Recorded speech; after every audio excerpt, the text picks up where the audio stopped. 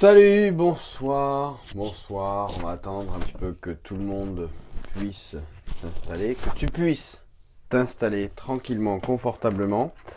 Alors là, tu vois, je suis encore un petit peu à l'arrache.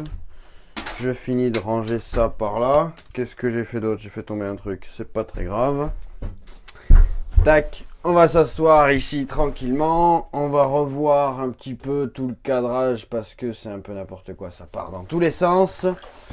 Bonsoir, j'espère que tu es en forme ce soir. Et tu l'as vu dans le titre, ce soir, ça va tailler sec. Ça va tailler sec parce que il y a plein de choses qui sont intéressantes par-ci par-là. Il y a plein de choses qui sont euh, qui vont te changer la vie que tu peux choper un peu à droite à gauche, mais il y a une seule chose, et c'est la seule chose qui te manque, c'est de passer à l'action, de faire. Apprendre des trucs, trouver des nouvelles méthodes, récupérer des informations, c'est bien, mais si tu décides pas ce que tu veux mettre en place et que tu le fais, ben ça marche pas. Tu es d'accord avec ça, ça marche pas. Et là, je suis tombé, tiens, je l'ai tombé. Je suis, j'ai récupéré, paf, là, salut. J'ai récupéré une étiquette, une euh, d'un espèce de gâteau d'une pâtisserie toute prête. Et j'ai pris une habitude ces derniers temps, c'est de lire les ingrédients dans, de la bouffe. Alors, rassure-toi, on va pas parler de bouffe ce soir. Je lis juste ça le temps que tout le monde arrive, que, que tu te connectes, enfin que tu te poses tranquillement dans un petit coin ça m'a fait halluciner ces ingrédients là, c'est un truc de fou. Donc il y a de la brioche, donc c'est de la brioche 37%. Donc cette brioche là, elle est composée de farine de blé, eau, œuf, sucre, beurre, crème, améliorant. Alors déjà de l'améliorant, je ne sais même pas ce que c'est.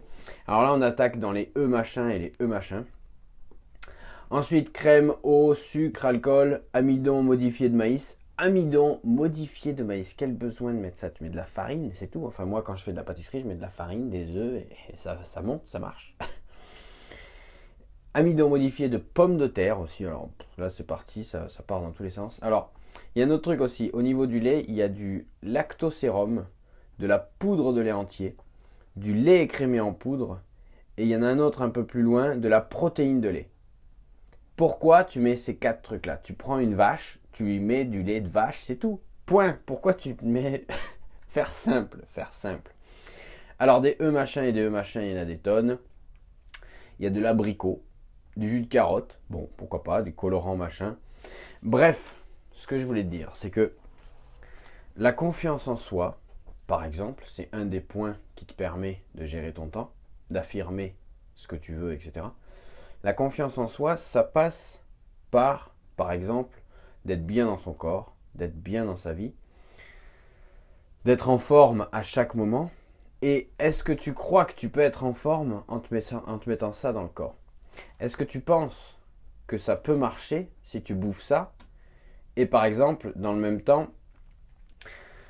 ouais, c'est se compliquer l'existence, oui, ça c'est sûr, parce que la brioche, tu mets, enfin, on est d'accord, hein, tu mets de la farine, des œufs et du machin, ça fait de la brioche pareil. Là, là, t'en as, regarde, tout ça. Paf. Bon. Donc ce qui est important, c'est de savoir ce que tu mets dans ton corps pour euh, ensuite, enfin c'est le carburant un petit peu, c'est le carburant de tout ça. Donc par rapport à la confiance en soi, on en est là. Et euh, par rapport, voilà, c'est, enfin ça c'est pour euh, ce point-là.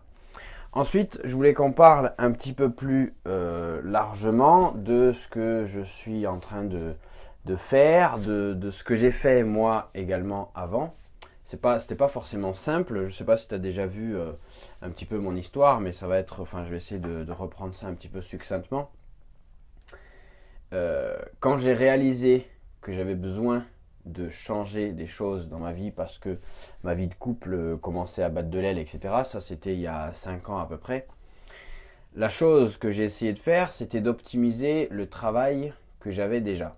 Donc j'ai acheté tout un tas de, méthodes dont j'ai déjà parlé, je pourrais t'en reparler si tu veux, des, bouquins, des machins, j'ai demandé des formations en interne, des choses comme ça pour essayer d'optimiser ma journée. C'était pas possible parce qu'il y avait un, tel volume de responsabilités et de machins et aucune possibilité de déléguer que c'était pas possible dans ce travail-là. Donc qu'est-ce que j'ai fait ensuite? J'ai cherché dans, en fait, je faisais pas mal de choses, j'avais pas mal de missions dans ma journée.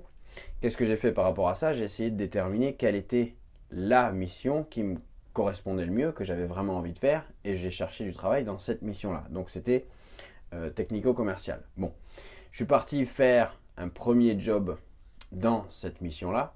Qu'est-ce qui s'est passé dès que j'ai commencé, quasiment dès que j'ai commencé quelques semaines après avoir commencé ce nouveau job, j'apprenais que ma compagne était enceinte et que j'allais être papa pour la première fois.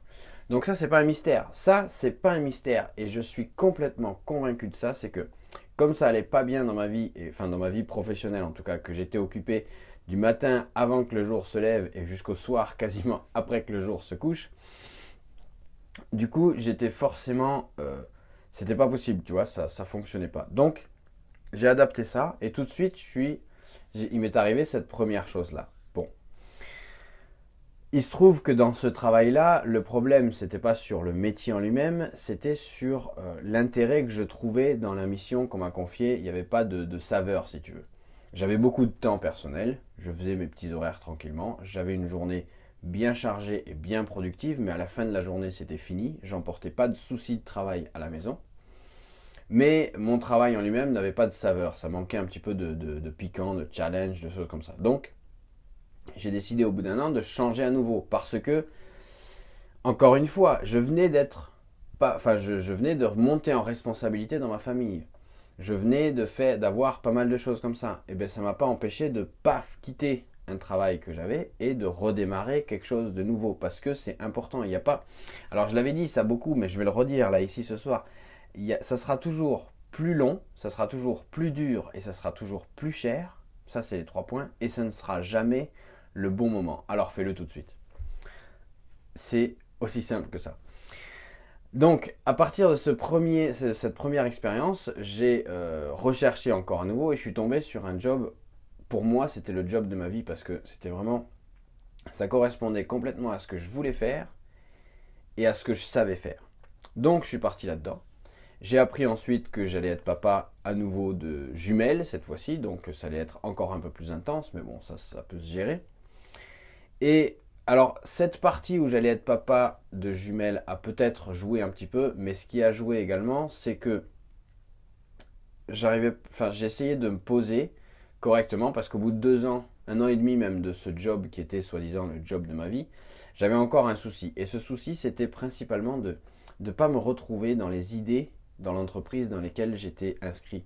Si tu veux, j'avais un problème avec ça, c'est que, euh, comment dire, les décisions de direction et les grandes lignes du groupe, ça correspondait pas forcément à ce que moi je me faisais comme image de tout ça. Donc forcément, j'ai décidé à nouveau de faire autre chose, mais plutôt que de repartir dans un système euh, salarié, ce qui me convenait pas forcément, et puis euh, de toute façon aujourd'hui je regrette pas ça, je suis parti et j'ai, je suis en train de créer mes propres sources de revenus.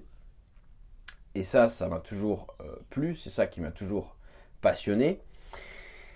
Et en essayant d'aider les autres, de t'aider peut-être à toi si ça, peut te, correspondre et te convenir, d'aider du mieux que je peux parce que c'est ça que j'aime faire, c'est ça que j'ai envie de faire. Et à partir de tout ça, je vais là maintenant bientôt, euh, d'ici 15 euh, jours normalement, être papa pour la quatrième fois. Donc ça, change un petit peu, ça chamboule un petit peu la vie. Là, il y a, il y a moins de 3 ans, j'étais euh, pas encore papa, donc j'ai découvert tout ça. Là, ça va un peu vite, c'est bien. Moi, j'aime bien ce genre de challenge là. Mais là, ce que je fais aujourd'hui, donc, qu'est-ce qui se passe aujourd'hui concrètement? Parce que je ne sais pas si tu le sais, mais les enfants, ça prend pas mal de temps. Nous, on les met pas forcément beaucoup en garderie, ils sont deux jours par semaine.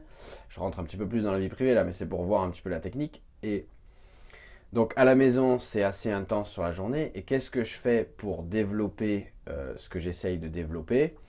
Merci. qu'est-ce que je fais pour développer ce que j'essaye de développer?